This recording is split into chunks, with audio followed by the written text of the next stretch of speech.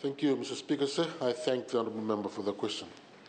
I rise to address an issue of both environmental and cultural significance. The relocation of the Sigatoka rubbish dump and the broader agenda of sustainable waste management in Sigatoka town.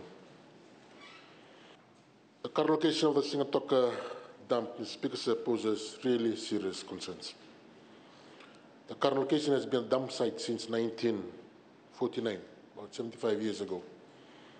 Not been, not been any concrete uh, steps taken to address, even change the site.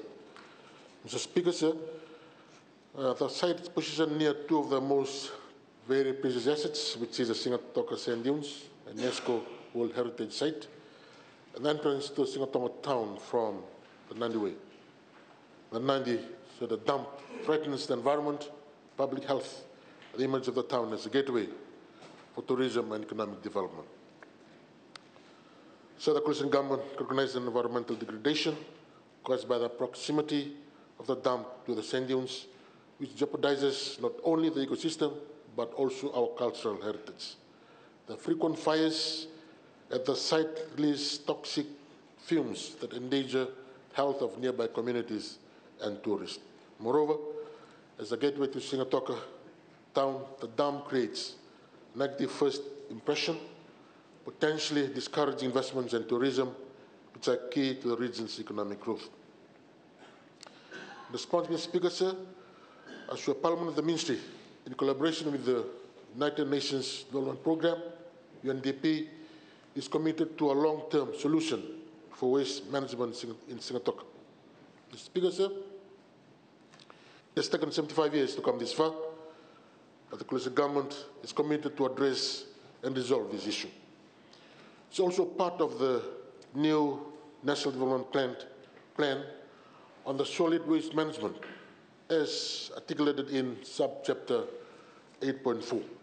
And one of the and one of the KPIs is one landfill in the Western Division, as well as one recycling, recycling plant for the next three years.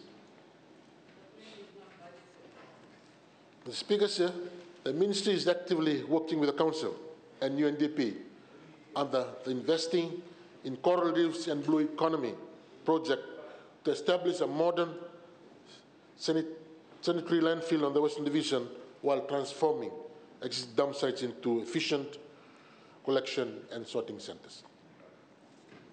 This initiative was endorsed by Cabinet June 2020, 2024, also includes the, the rehabilitations of four dump sites, which also includes Sigatoka, and the facilitation of an open compet competitive bidding process for public-private partnership or PPP that will modernize waste management infrastructure.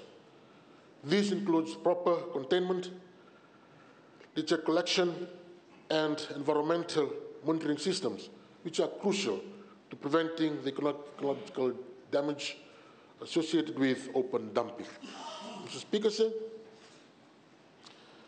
beyond infrastructure, the ministry is exploring the establishment of a waste management authority, which will centralize resources and expertise from all municipal councils to enhance waste management and recycling efforts. This centralized body, once established, will ensure improved governance, transparency, and consistent, consistency in waste management policies across Fiji.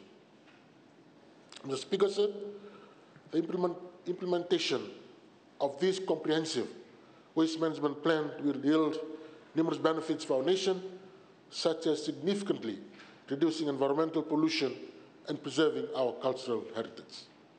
The Sigatoka Sand Dunes will be safeguarded and maintain its status as UNESCO World Heritage Site. Mr. Speaker, sir, modern sorting and recycling facilities will also allow us to recover valuable resources from our waste stream, contributing to a circular economy.